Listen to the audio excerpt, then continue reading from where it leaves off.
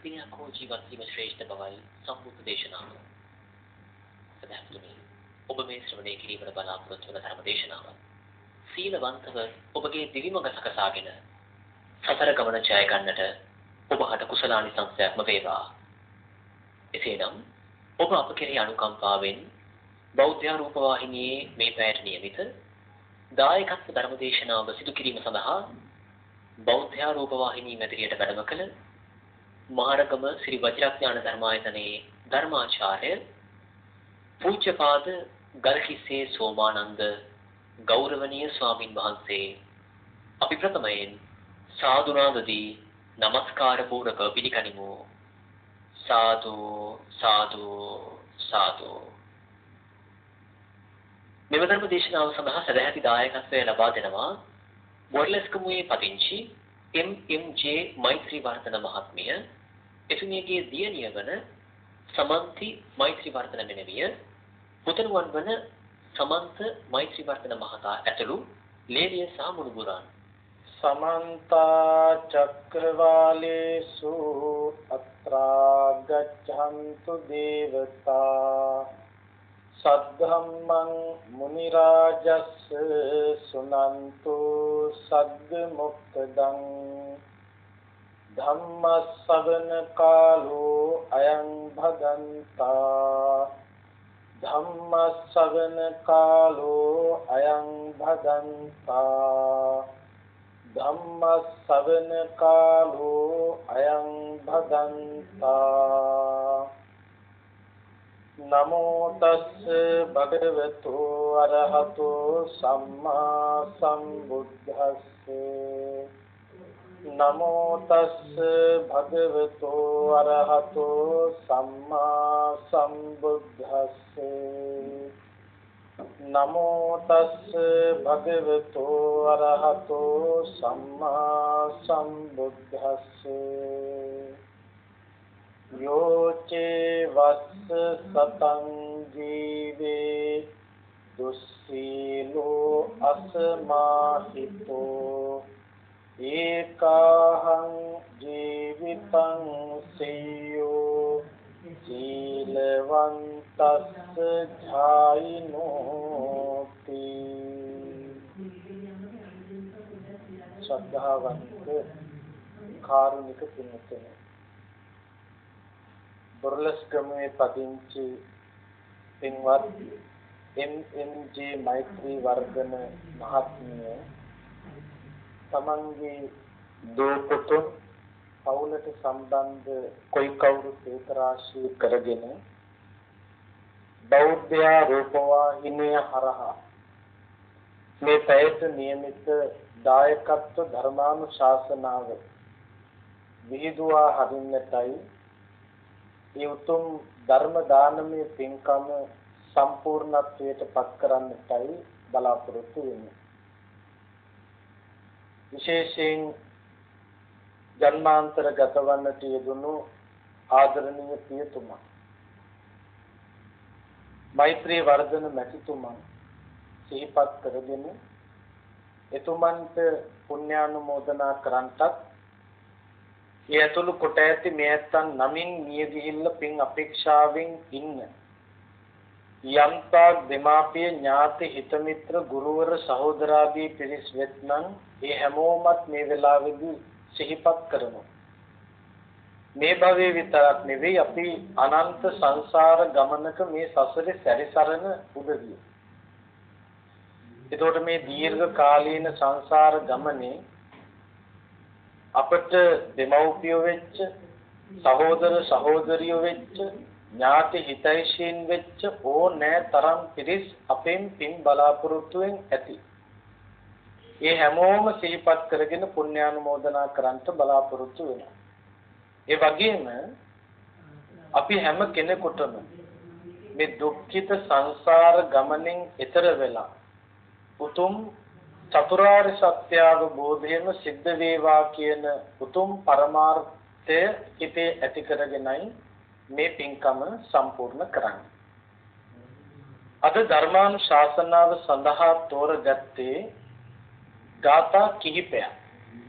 මේ ගාථාවන් අන්තර්ගත වෙලා තිබෙන්නේ ධම්මපදේ.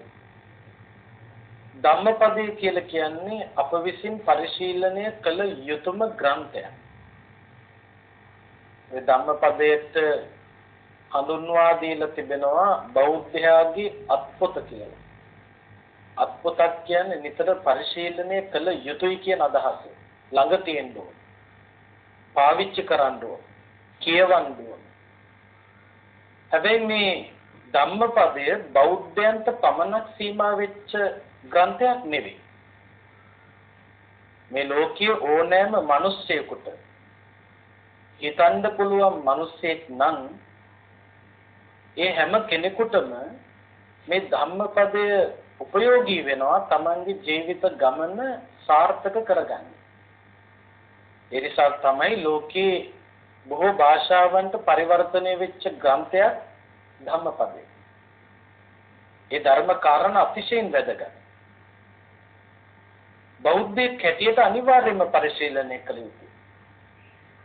මොකද හේතුව ගිහි ජීවිත ගත කරන උදවිය කාර්ය බහුලයි. වැඩ වැඩි.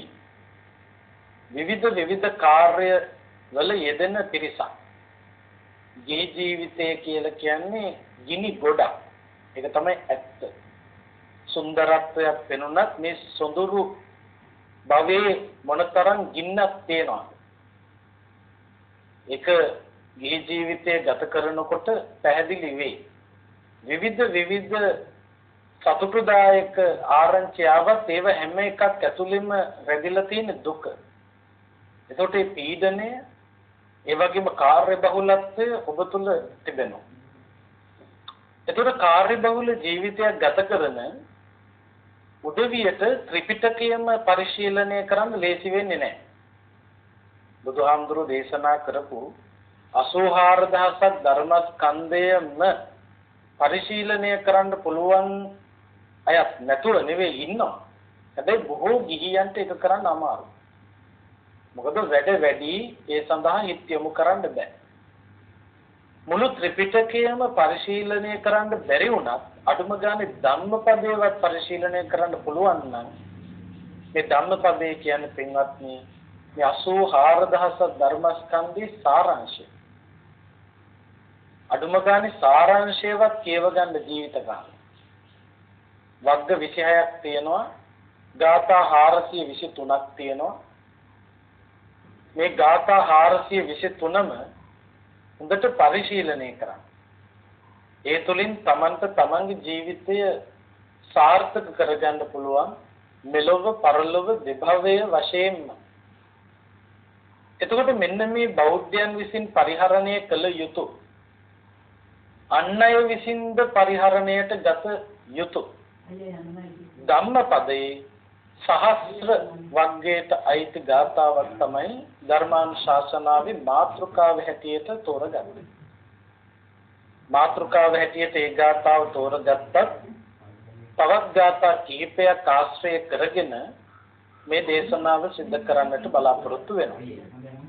පින්වත්නි බුදුරජාණන් වහන්සේ දේශනා කරනවා යෝචේ වස්ස සතං ජීවේ. දුස්සීලෝ අසමාහිතෝ. යම් කිසි මිනිස්සෙක් අවුරුදු 100ක් ජීවත් වුණත් කොයි විදියටද? චිත්ත සමාධියක් නැති දුස්සීලව. දුස්සීලව අවුරුදු 100ක් ජීවත් වුණත් වැඩක් වෙන්නේ නැහැ. ඒකාහං ජීවිතං සෙය්‍යෝ සීලවන්තස්ස ජහයින සිල්වන්තව ගුණවන්තව චිත්ත සමාධිය ඇති කරගෙන එක දවසක් ජීවත් වෙනවා නම් ඒ දවස උතුම් කියලා කියනවා අර අවුරුදු 100ක් දුස්සීලව ඉන්නවාට වඩා. දැන් අපේ වයස කොච්චරද? තම තමන්ගේ වයස ගැන කල්පනා කරන්න. මේ වයස කොයි විදියටද ගිහිල්ලා තියෙන කියන එක බලන්න ඕනේ. දුස්සීලකම් කරලා තියෙනවා නම් කොච්චර පරමායශ මුක්ති වින්දනය කළා ඒකේන හිස් මිනිස්සේ එයාගේ ආයුෂ වැඩි වෙන්න වැඩි වෙන්න කරලා තියෙන්නෙම අකුසල කර්ම. එතකොට අවුරුදු 100ක් ජීවත් වුණත් දුස්සීලව නම් ඒකේ නා තේරුමක් නැහැ. සමහරකට සතුටු වෙන්න පුළුවන් මං අවුරුදු 100ක් ජීවත් වුණා කියලා. මම මෙච්චර කාලයක් ජීවත් වෙනවා කියලා. අනිත් අය අකලට මැරෙනකොට මම අවුරුදු 80යි 85යි 90යි කියලා යම්කිසි සතුටක් එන්න පුළුවන්. හැබැයි Tamanට දැන් අවුරුදු 80 නම් 85 නම් 90 නම් මේ 90 කොයි විදියටද ගිහිල්ලා තියෙන්නේ කියන එක පොඩ්ඩක් බලන්න වෙනවා. මේ කාල සීමාව තුළ කරලා තියෙන්නේ දුස්සීල කන්න. කුහක කන්න. ඒකෙනාට සතුටටපත් වෙන්න පුළුවන්කමක් නැති බව බුදුහාමුදුරු දේශනා කළා. හැබැයි පින්වත්නි සිල්වන්තව එක මොහොතක් හිටියත් ඒ ප්‍රමාණවත්. ඒකයි බුදුහාමුදුරුව අපට දේශනා කළේ දිවි දෙවැනි කොට සීලය රකින්න. ජීවිතේ කොතනද තියෙන්නේ? දෙවෙනි තැන. පළවෙනි තැන දෙන්න ඕන සීලයට. දැන් ගිහියන් හැටියට ඔයත්තන්ට තියෙන්නේ පංච සීල ප්‍රතිපදාවනේ. නිත්‍ය සීලය, ඒ කියන්නේ නිත්‍ය කියන්නේ අනිවාර්යෙන්ම ස්ථිරවම හැම මොහොතකම තිබිය යුතු සීලය. ඔයත් සිල් පවාරණය කරන්න එපා. දැන් පොයේ දවසේ සිල් පවාරණය කියන වචනේ භාවිත කරනවා ඒ සිල් පවාරණය කියන වචනේ ඇත්තටම පාවිච්චි නොකළ යුතුයි. සිල් අලුත් කිරීමක් තියෙන. සිල් පවාරණය කියන්නේ දුස්සීලකම්. අපි කවුරුත් දුස්සීලකමට වැටෙන්නේ නැහැ. එතකොට අටසිල් වලින් ඉවත් වෙලා පංචශීලයේ සමාදන් වීමනේ වෙන්නේ. එතකොට සිල් පවාරණයක් නෙවෙයි. කිසිම වෙලාවක සිල් පවාරණයක් කරන්න එපා. ගිහියන් හැටියට පංචශීල ප්‍රතිපදාව නිත්‍ය සීලයේ හැටියට රැකිය යුතුයි. පංචශීල කැඩෙන දෙයක් තියෙනවා නම් ඒ දේ නොකළ යුතුයි. අපි හිතමු පංචශීල කැඩුවේ නැත්තම් මැරෙන්න වෙනවයි කියලා. පින්වත්නි මැරෙන එක හොඳයි.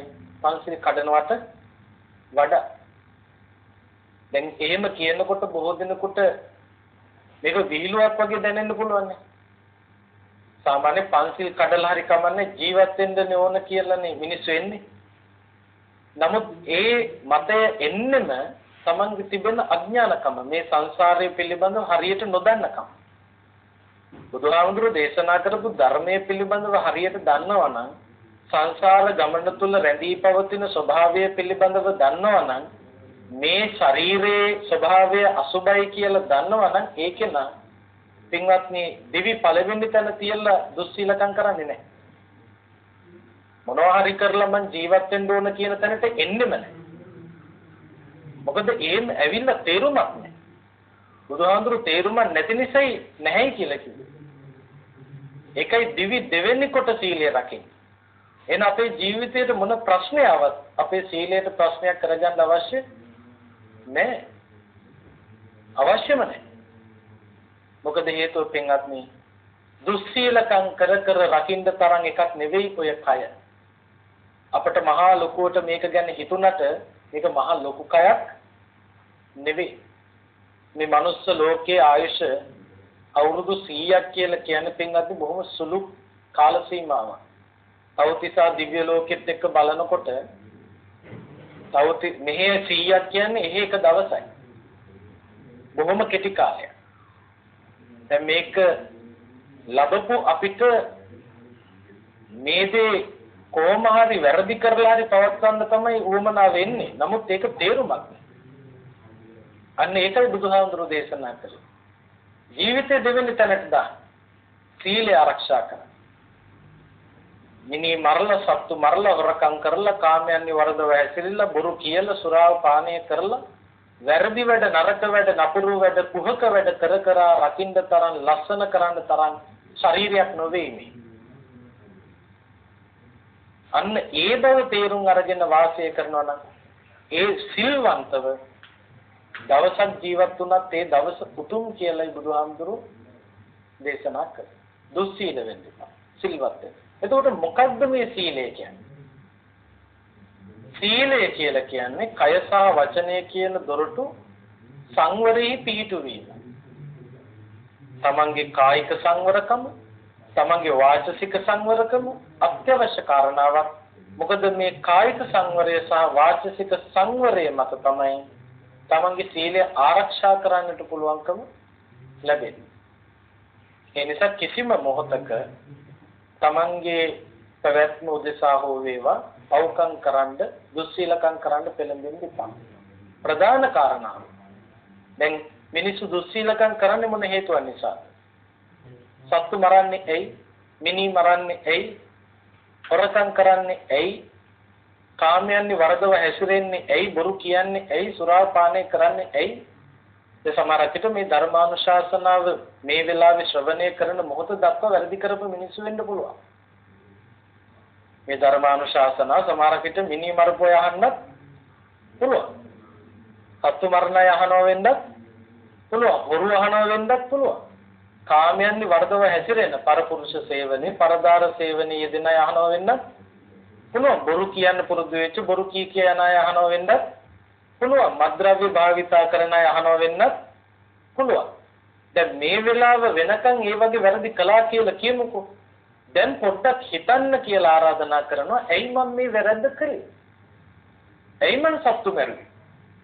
ඇයි මම හොරකම් කළේ? ඒ ඇයිද කියන එකට උත්තරයක් අරගෙන ඕන ඉදිරියට යන්න. ඇයි මම මේ පරදාර සේවනයේ පරපුරුෂ සේවනයේ යෙදුනේ? ඇයි මම මේ බොරු කියන්නේ? ඇයි මද්ද්‍රව්‍ය භාවිත කරන්නේ? ඇයි කියන ප්‍රශ්නේ අහුවොත් උත්තරේ පොදු උත්තරයක් එනවා. ඒ තමයි මගේ මේ පංචේන්ද්‍රයන් ටික පිනවන්න. එතන මොකකටවත් නෙවෙයි. මිනිස්සු සත්තු මරලා මිනි මරලා බලාපොරොත්තු වෙන්නේ මොනවද? තමන්ගේ පංචේන්ද්‍රයන් ටික පිනව ගන්න. මට කරදරයක් වෙයි කියලා හිතන කෙනා මරලා දානවානේ. මට සලකන්නේ නැති කෙනාට ගහනවා. එතකොට මට හානියක් වෙයි කියන බිය නිසානේ සත්තු මරන්නේ මිනි මරන්නේ. දැන් මදුරුව මරන්නේ. අර පුංචි මදුරුව මරන්නේ ඇයි ඔය ඇත්තෝ? ඈ මරණ කෙනා මරන්නේම මෙයාගේ මට හානියක් වෙයි කියලා විද්ද ගමන් පළු දානවා පළු දැම්මොත් කසන්න වෙනවා වරුවක් විතර ඈ ඩෙන්ගු මදුරුවෙක් කෑවොත් උනේන්නත් ඉඩ තියෙන ඒ නිසා හොඳම දේ තමයි කණ්ඩ එන්ඩි ඉස්සෙල්ලා මරලා දාන්න. ඒකට මාව බේරගන්න මම සතු මරනවා. හොරකම් කරන හොරු මොකටද හොරකම් කරලා තියෙන්නේ? ඔය හොරකම් කරපු හොරු හොරකම් කරපු සල්ලි වලින් සැප විඳිනවා. ඈ පයින් යන කෙනා හොඳ වාහනයක් ගන්නවා ඒකටනේ හොරකම් කරලා තියෙන්නේ. හොඳ ගියක් හදාගන්න. හොරකම් කරලා කරන්නේත් මොකද්ද? පංචේන්ද්‍රිය පිනවන එක. ඒක පිනවන්න තියෙන වමනාවෙන් තමයි හොරකම් කරන්නේ. කාමයන්ගේ වරද වැසිරෙන්නේ ඇයි? මේ පේන පේන විදියට දුවන්නේ මොකටද? ඈ තමන්ගේ ස්වාමි දියණියට පිටුපාලා හතුරුකම් කරලා පරදාර සේවනයේ දෙන්නේ. තමන්ගේ ස්වාමි පුරුෂයාට පිටුපාලා හතුරුකම් කරලා පරපුරුෂ සේවනයේ දෙන්නේ මොකක් නිසා? මගේ පංචේන්ද්‍රයන් පිනවීමේ තියෙන උවමනා. බොරු කියලා තමන්ව බේර ගන්න හදන. සුරාව පානය කරලා තෘප්තියක් විනෝදයක් දෙන්න හදන. එතකොට පංචේන්ද්‍රයන් පිනවන්න තියෙන දැඩි කැමැත්ත කාමය නිසාම තමයි මිනිස්සු පාප කර්ම අකුසල කර්මවල යෙදෙන්නේ. අකුසල කර්මවල යෙදෙනවා නම් යෙදෙන්නෙම කාමය. මේ පංචේන්ද්‍රයන් පිනවන්න තියෙන ආසාව. දුස්සීලකම් කරන්න මෙහෙම එහෙනම් මොකක් නිසාද? පංචේන්ද්‍රයන් පිනවන්න තියෙන ආසාව. ඇත්තටම පින්වත්නි, ඇස කන නාසය දිව ශරීරය අපසතුව තියෙනවානේ. අපි ඔක්කොම පෘථග්ජනයි. පෘථග්ජනයි කියන්නේ කෙලෙස් සහිතයි. බන කියන මාත් කෙලෙස් සහිතයි. එතකොට අපි ඔක්කොම යම් කිසි මට්ටමකට ඇහැ පිනවනවද නැද්ද? ඈ? පිනවනවා. බන කියන මාත් පිනවනවා. බන අහන ඔයත් පිනවන ලස්සන ලස්සන තැන් බලන්න යන්නේ. බලන්න එනවා. ඊළඟට කන නාසය දිව ශරීරය පිනවනවා. පෘථග්ජන නිසා කෙලෙස් සහිත නිසා මේව පිනවන්න අපි යම්කිසි විදියකට උත්සාහයක් යොමු කරනවා. ඇත්තටම පින්වත්නි පිනවන එකම නෙවෙයි ප්‍රශ්නේ. පෘථග්ජනයේ හැටියට ඇස කන නාසය දිව ශරීරය කියන ඉන්ද්‍රයන් පිනවනවා. පිනවන එකම නෙවෙයි ප්‍රශ්නය ඒ ඇස කන නාසය දිව ශරීරය පිනවන එකේ සීමාව හඳුනා නොගන්න. මේවා පිනවන එක නෙවෙයි ප්‍රශ්නය අගතිගාමි වෙලා පිනවන්න යන එක. අන්න පාප කර්මයක් වෙන්නේ ඒකයි. ඕනවට වඩා යන එක. මේකේ සීමාව හඳුනා ගන්න. සීමාව හඳුනා ගත්තේ නැති මිනිස්සු කරන්නේ මකුසල කර්ම.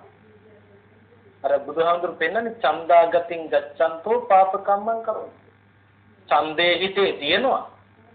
ද්වේෂයේ හිතවල තියෙනවා. ඊළඟට බිය, මෝහයේ හිතවල තියෙනවා. මේ හිතවල තියෙන මේ කෙලෙස් වලින් අගතිගාමී වෙනවා මිනිස්සු. අගතිගාමී වෙච්ච තැන පාප කර්ම සිද්ධ කරන දුස්සීලෙක් වෙන්නෙම ආසාවල් නිසා නෙවෙයි. ආසාවෙන් අගතිගාමී වීම නිසා. බුදුහාමුදුරු පෙන්වන්නේ මේ අගතිගාමීවත් නොවී ඉන්න. නිවන් දකින්න නම් ඔය කොයි ආසාවක් අයින් කරන්න ඕන තමයි. සංසාර ගමන තුළ යම්කිසි සුවයක් භුක්ති විඳින්න නම් ආසාවන්හි තිබෙන සීමාව හඳුනා ගන්න ඕන. මොනවාරි කරලා පිනවන්න කියන තැනට නොවේ පැමිණිය යුත්තේ කරන දේ අකුසලයක් නම් ඒ නොකොට කොහොමද මම මේ අස කන නාසය දිව ශරීරය පිනවන්නේ කියන එක සොයා ගැනීමයි කළ යුතු කාර්ය බවට පත් වෙන්නේ. මොකද හේතුව අකුසල කර්ම කර කර පාප කර්ම කර කර පිනවන්න තරම් එකක් නෙවෙයි මේ ශරීරය. මේ ශරීරයේ ස්වභාවය බුදුහාමුදුරු දේශනා කළානේ. දැන් මිනිස්සු දුස්සීලකම් කරන්නේ ඇයි? අකුසල කර්ම පාප කර්ම කරන්නේ ඇයි? කරන්නේ මේ පංචේන්ද්‍රයන් පිනවන්න තියෙන උවමනාව. දැන් පංචේන්ද්‍රයන් වලට පොදුවේ කියන වචනේ අපි කියමු ශරීරය කියලා. දැන් අපි දරාගෙන ඉන්න ශරීරය මේ ශරීරයේ හැටි අපි කල්පනා කරනවා නම් මේකේ ස්වභාවය කල්පනා කරනවා නම් පාප කර්ම කරන්නේ මේකේ හැටි මොන වගේ? ඔය ශරීරයේ ස්වභාවය දැන්වත් හඳුනගෙනද තියෙන්නේ? ඕන තරම් මේ සමාජයේ අපට දේව දූතයෝ ඉන්නවා මේක පෙන්වන්න නේ? දේව දූත කියලා කියන්නේ? ඈ? පණිවිඩකාරයෝ. ස්වභාව ධර්මයාගේ පණිවිඩකාරයෝ. මට වෙන්නේ මොකද්ද මට වෙන්න નિયમિત මොකද්ද කියන එක ඔයත්තන්ට හොඳට පෙන්නනවා සමාජය. අර පෙන්නන දේ බලන්න තිකයි බලන දේ තේරුම් නොගන්න එකයි ප්‍රශ්නේ. මේ ශරීරයට මොකද වෙන්නේ? දැන් තරුණයෙක් හැටියට ඉන්න කෙනෙකුට ওই ජවය හැමදාම තියනවද නැද්ද කියන එක බලන්න දේව දූතයෝ සමාජයේ ඉන්නවද නැද්ද? ඉන්නවා. දැන් බලන්න චන්දිකම් කරපුවා වයසට ගිහිල්ලා නැද්ද? ඈ අර තරුණ කාලේ ගහපු පච්ච වයසට ගිහිල්ලා නේ අම රැලි වැටෙනවත් එක්කම රැලි වැටිලා ගියපු දේහ ශරීර නැද්ද පේන්නේ. ඒ කාලේ මහා හොඳ ඇඟට තමයි පච්ච ගහලා තියෙන්නේ. වයසට යන්න යන්න මොකද වෙන්නේ? අම රැලි වැටිලා ගිහිල්ලා පච්චෙත් නිකන් දිය වෙලා ගිහිල්ලා පච්චයේ තියෙන අර ගාම්භීර ගතිය නැති වෙලා ගියපු වයෝවෘතයි නැද්ද? ඕන තරම් එතකොට දැන් ඉන්න අය කල්පනා කරන්න ඕනේ එහෙනම් මටත් ඕකම තමයි මේ ශරීරයට වෙන්නේ මොකද්ද කියලා? කල්පනා කරන්න අර මකාදේව රජතුමා වගේනේ උත්තමංගරුභා මයිහං ඉමේ ජාතා වයෝහර පාතු භූතා දේව දූතා පබ්බජ්ජා සමයෝ මම කියලා. මකාදේව රජතුමා තමන්ගේ කොණ්ඩේ කපන කෙනාට කියලා තිබුණා. මගේ කොණ්ඩේ කපනකොට සුදු කෙස් ගහක් හරි හම්බුනොත් මට කියන්න. එක සුදු කෙස් ගහක් හවුනොත් මට කියන්න. ඉතින් දවසක් කොණ්ඩේ කපන මිනිස්සයා රජතුමායි කොණ්ඩේ කපනකොට කොණ්ඩේ සකස් කරනකොට හමු වුණා සුදු කෙස් ගහ. රජතුමනි සුදු කෙස් ගහක් පහළ වෙලා තියෙනවා. රජා මොකද කළේ? රාජ්‍ය කැඳෙව්වා. තමන්ගේ ඇමති මණ්ඩලය කැඳෙව්වා. කැඳවලි වල ප්‍රකාශය කරනවා උත්තමංගරු භාමයිහං ඉමේ ජාතා වයෝහර. වයෝවෘද්ධ භාවයේ පණිවිඩය මගේ හිස මතින් පහළ වෙලා. දැන් මේ රාජකාරී කර කර ඉන්න ඕන කාලේ පබ්බජ්ජා සමයෝ මම මගේ පැවිදි සමයයි කියලා ගිහිල්ලා පැවිදි වුණා. එතකොට බලන්න පින්වත්නි මේ ශරීරයේ ස්වභාවය හඳුනා ගන්න ඕන. මේ එන්න එන්න වයෝ වෘද්ධ භාවයටපත් වෙනවා. එතකොට වයෝ වෘද්ධ අයව අපට දකින්න ලැබෙනවා. ඒ ඔස්සේ අපිට කල්පනා කරන්න පුළුවන්. එතකොට මේ ජීවිත ගමනේදී එන්න එන්න ජරාවටපත් වෙනවා. මොකද්ද මේ ශරීරය? ඇස් පේන්නේ නැතුව යනවා, කන් ඇහෙන්නේ නැතුව යනවා. ඊළඟට දත් ටික හැලිලා යනවා, සී කල්පනාව නැති වෙලා යනවා. ඊළඟට අන්තිමේදී මොකද වෙන්නේ? කයින් විඥානේ නිරුද්ධ වෙනවා. විඥානේ නිරුද්ධ වෙච්ච ගමන් ශරීරයට මොකද වෙන්නේ? ඉදිමෙනවා, නිල් වෙනවා, පුපුරනවා, සරව ගලනවා, පණුව ගන්නවා අන්තිමේදී කුණු වෙලා විනාශ වෙලා පසට පස් වෙලාම යනවා. ඒ මොකක් මොකේද මේ දේ වෙන්නේ? පසට පස් වෙලා යන්නේ මොකක්ද? ශරීරය. එතකොට පව්කම් කලේ මොකක් වෙන්නේ? මොන ශරීරය වෙනුවෙන්ද එහෙනම් පව්කම් කර කර පිනේ? පස් වෙන ශරීරය.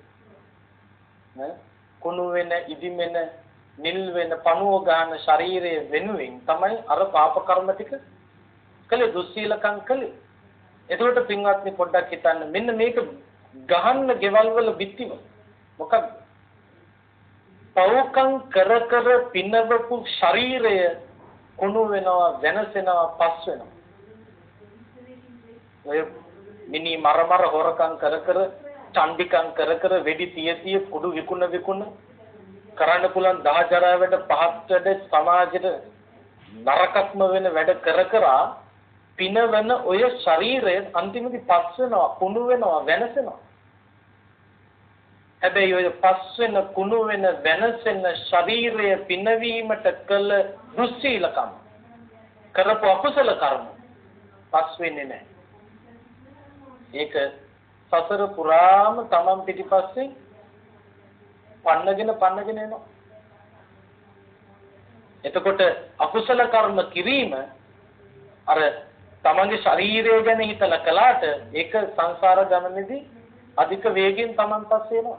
අර ඉන සූත්‍රය කියලා සූත්‍රයක් තියෙනවා. ඒකෙදි බුදුරජාණන් වහන්සේ භික්ෂුන් වහන්සේලාගෙන් විමසනවා මහණෙනි දිලිඳුකම දුකක්ද? වික්ෂුන් වහන්සේලා උත්තර දෙනවා "ඔව් ස්වාමීනි දිලිඳුකම දුක." දුක්පත්කම කියන එක දුකක්නේ. දුකටපත් කියන එකනේ දුක්පත් කියන්නේ. දිලිඳු කියන්නේ ඒකයි. දුක්පත්කම එහෙනම් මොකක්ද? දුක. ණය ගන්න මේ ලෝකේ කවුද? දුක්පත් මිනිස්සු.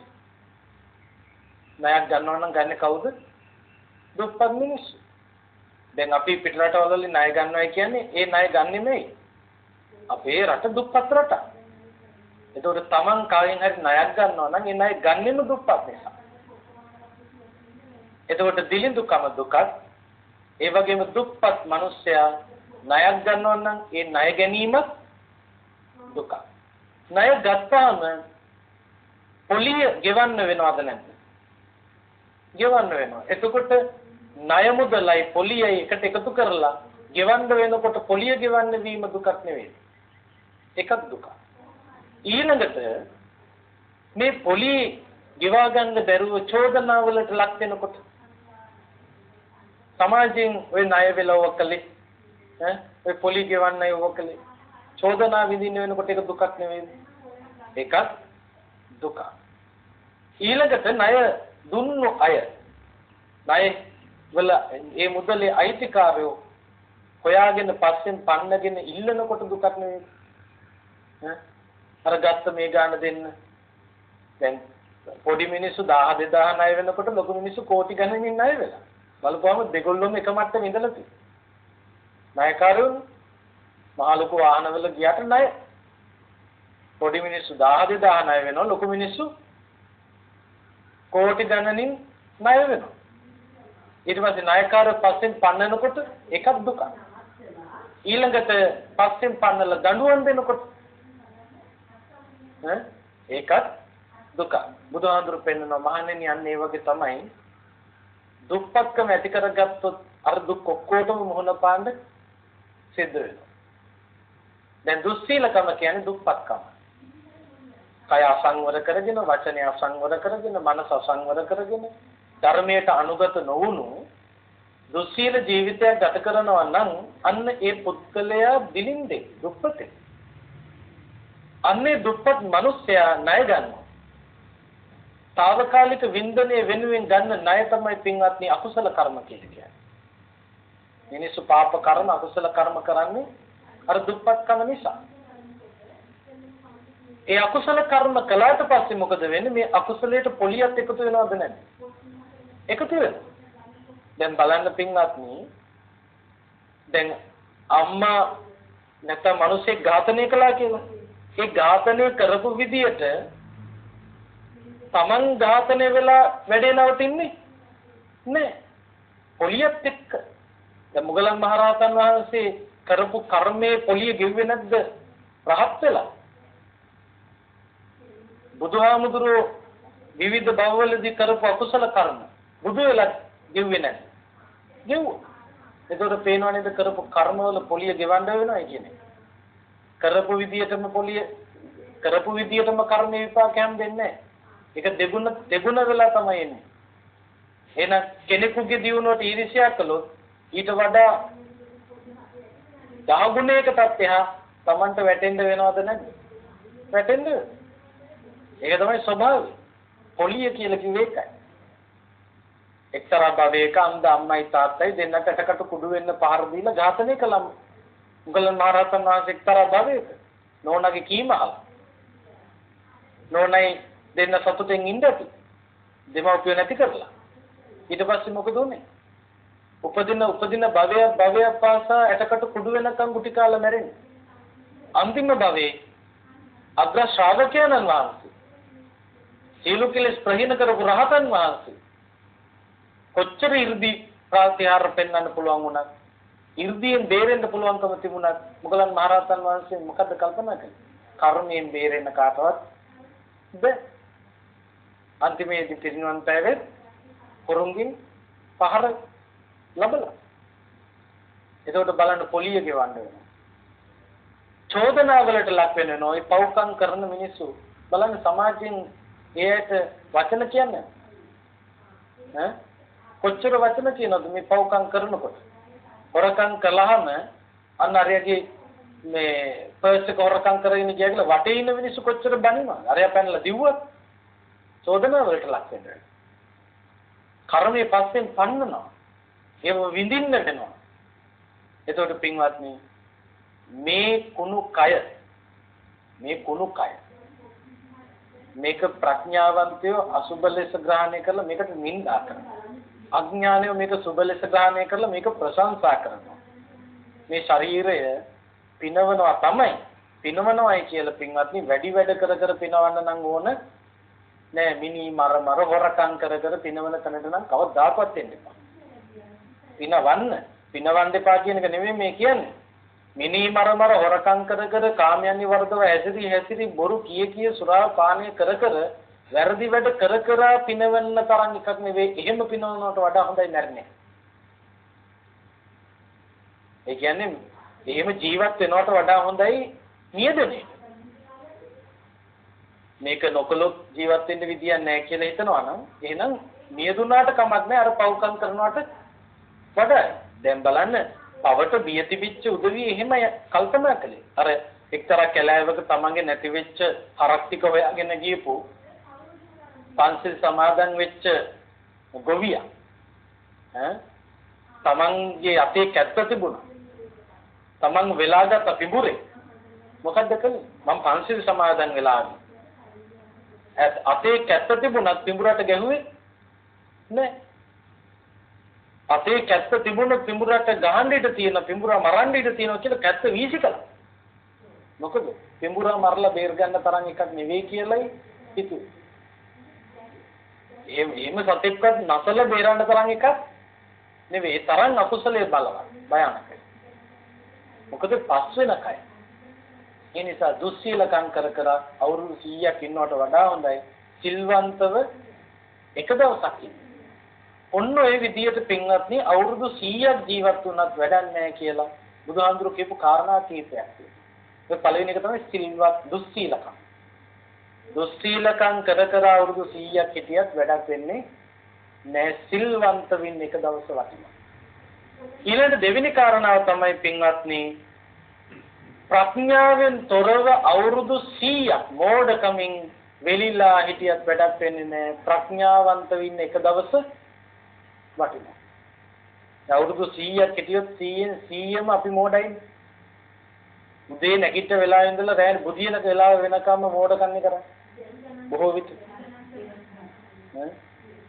එතකොට ප්‍රඥාවෙන් තොරව අවුරුදු 100ක් හිටියත් වැඩක් වෙන්නේ. පරිණත නැහැ, පරිපූර්ණ නැහැ. දුවල තියෙන්නෙම වැරදි පස්සේ. නේ? චිත්‍රපටි බලනවා, ටෙලි නාට්‍ය බලනවා, ගේම් ගන්න ඕනේ කරලා තියෙනවා.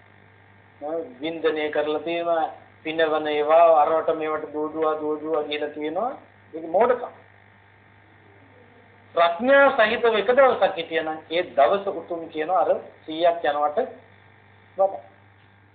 ඊළඟට පෙන්වනවා පින්වත්නි අවුරුදු 100ක් ජීවත් වුණත් වැඩක් නැහැ කම්මැලි කාර්යයක් හැටියට.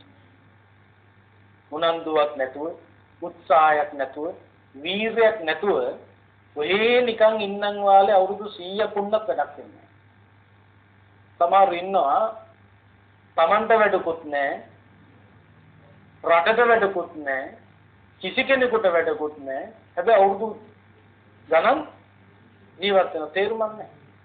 ඉන්නකේ Tamanට වැඩක් කරගන්න ඕන අනුන්ට වැඩක් කරන්න ඕන. දැන් සමහර අය බලන්නකෝ සිල් ගන්න යන්නෙත් නැහැ.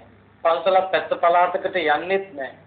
තමන්ට වැඩක් කරගන්නෙත් නැහැ අනුන්ට වැඩක් කරන්නෙත් නැහැ කෙනෙක්ව යහපත් කරන්න මහන්සි වෙන්නේ නැහැ ඔහේ කම්මැලිකාර විදියට බණපදයක්වත් අහන්නේ නැති වයසකයි නැද්ද ඉන්නවා. ඔහේ ඉන්නවා. කොච්චර හිටියත් වැඩක් වෙන්නේ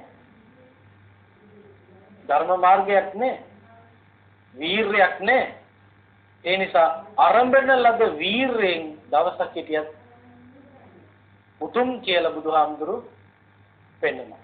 වීරයක් නැතුව අවුරුදු 100ක් උන්නත් වැඩන්නේ. මහන්සි වෙන්න. ආධ්‍යාත්මික දියුණුවක් ලබන්න මහන්සි වෙන්න. ඒ වගේම තමයි පින්වත්නි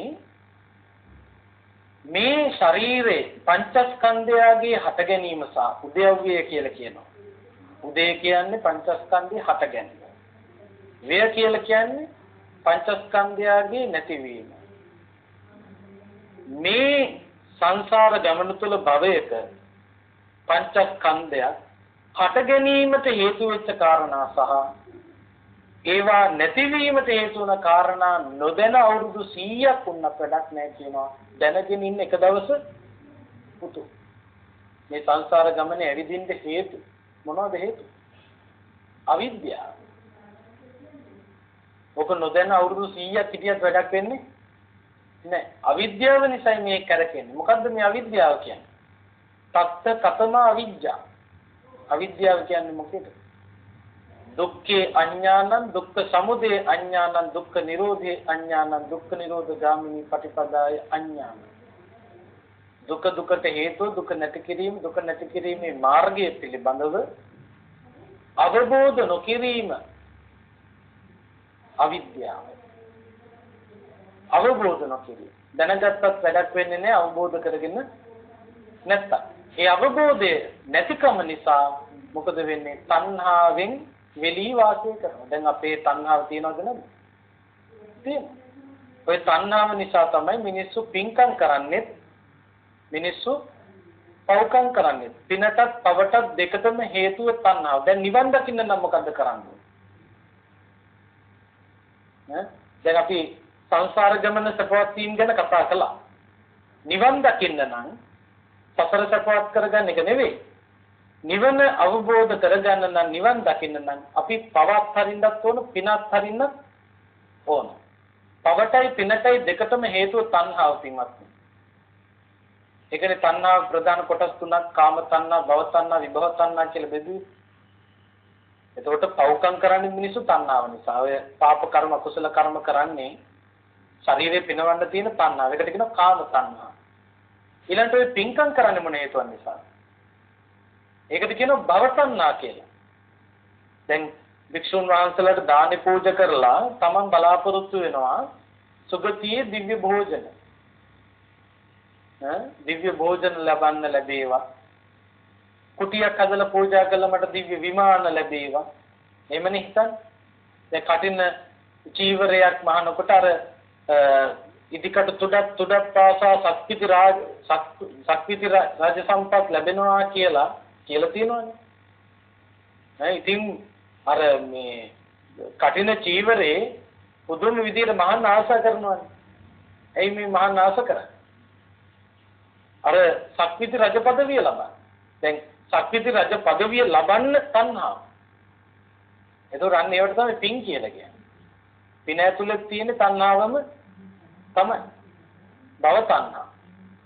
එතකොට ඔය තණ්හාව කියන ප්‍රබල හතුරා දෙන පණිවිඩය හොඳට මතක තියාගන්න. මොකද්ද දෙන පණිවිඩය? තණ්හාව පින්වත්නි දෙනවා පණිවිඩයක් හොඳට මතක තියාගන්න. ඒ පණිවිඩය තමයි සංසාර ගමන තුල දුක් විඳ විඳා ඉන්න බැරි නම් ආ හොඳයි කමක් නැහැ. සංසාර ගමන තුල දුක් විඳ විඳා ඉන්න බැරි නම් හොඳයි කමක් නැහැ. සැප විඳ විඳා හරි හිටපල්ලා. මොකද්ද දීලා තියෙන පණිවිඩය? දුක් විඳ විඳ මේ සසරේ ඉන්න බැරි නම් ආ කමක් නැහැ. සැප විඳ විඳා හරි හැබැයි හිටපල්ලා මේ සසරින් එතර වෙන්න බලට ඉඩ දෙන්න. දැන් මොකද අපි මේ කරන්නේ? දැන් මනුස්ස ලෝකේ කියන්නේ සුගතියටයි තිතනද දුගතියටයි තිතනද?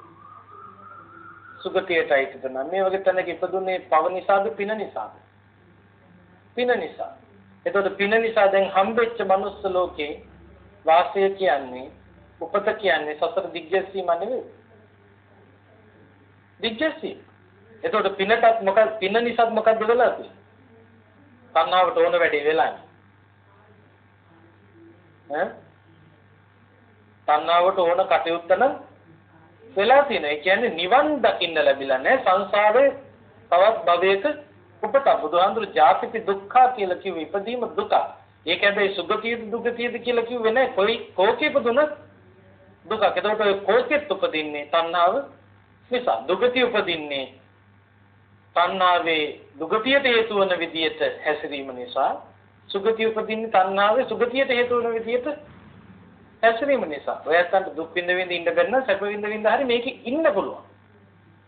යන්න නම් තණ්හාව සම්පූර්ණයෙන් අයින් කළ යුතුයි. එතකොට පංචස්කන්ධයගේ හට ගැනීම වෙන්නේ මේ භවයන් සැකස් වෙන්නේ අවිද්‍යාව තණ්හාව නිසා. ඉතින් මේක නොදන්න අපි සංසාරේක දිගටම ඇවිදිනවා.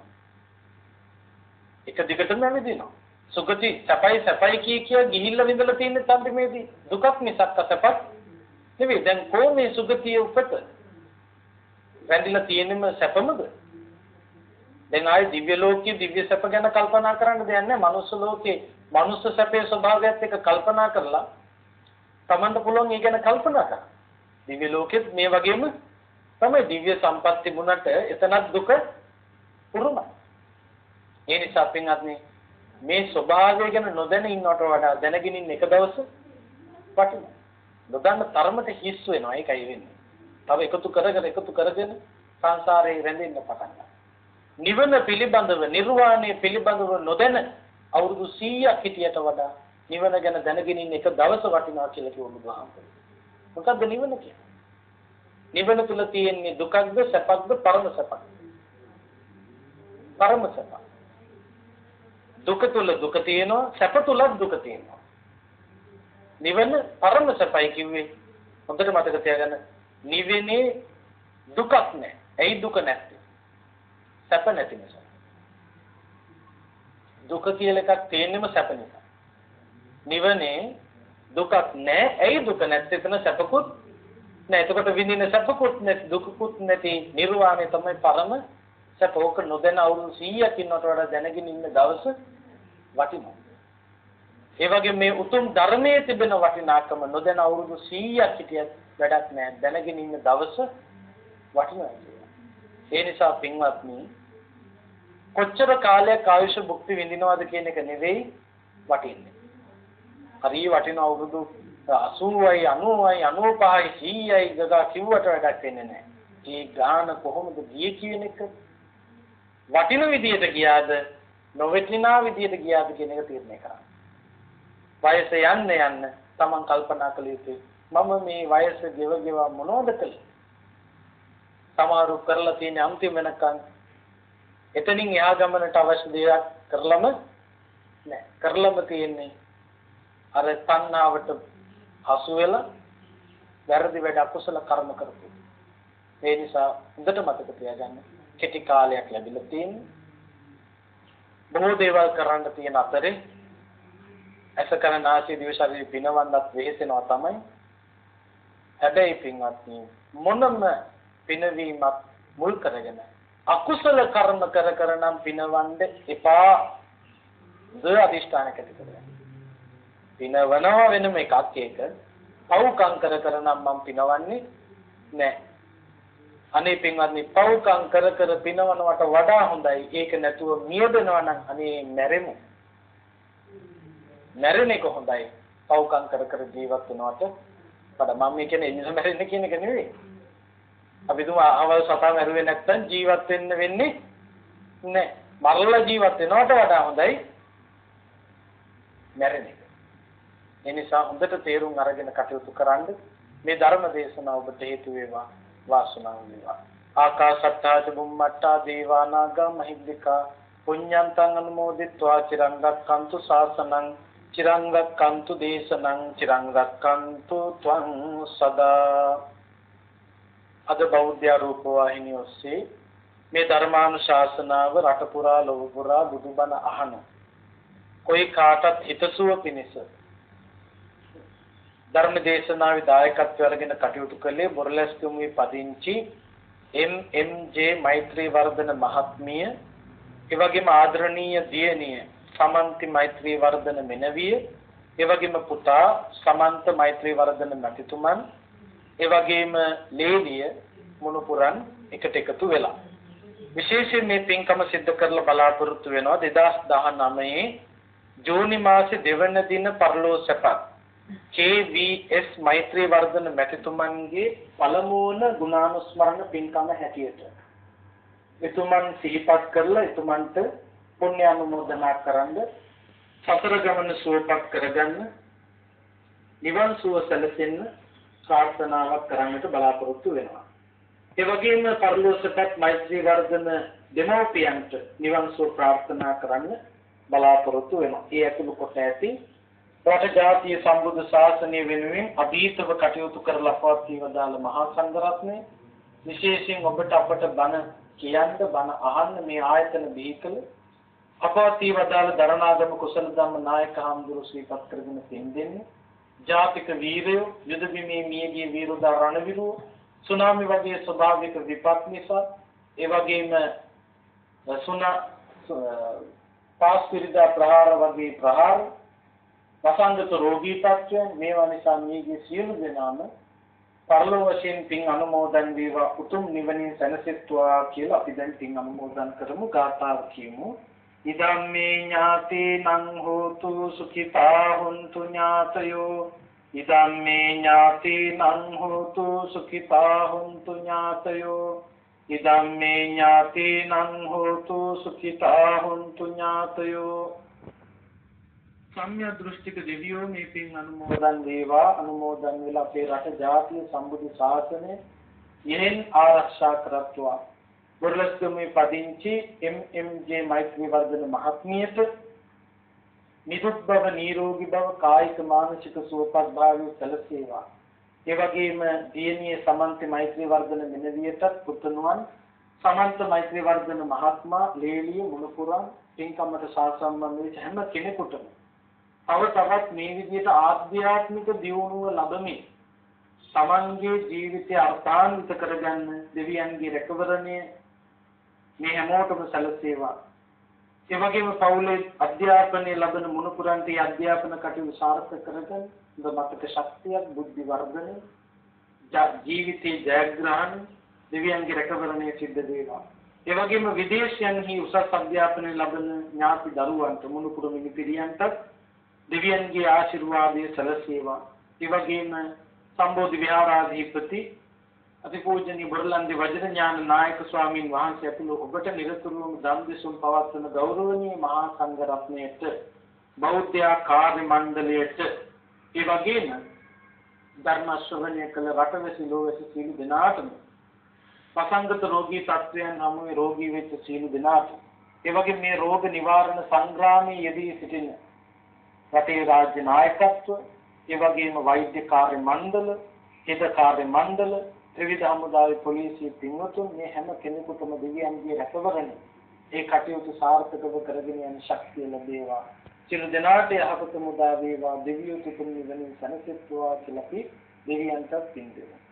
ittavataca amhihi sambhatam punya sampagam සබ්බේ දේවානුමෝදන්තු සබ්බ සම්පත්ති සිද්ධියා.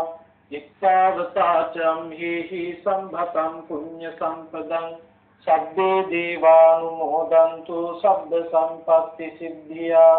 ඉත්තාවතාචම් හේහි සම්භතං පුඤ්ඤ සම්පදං. සබ්බේ දේවානුමෝදන්තු සබ්බ සම්පත්ති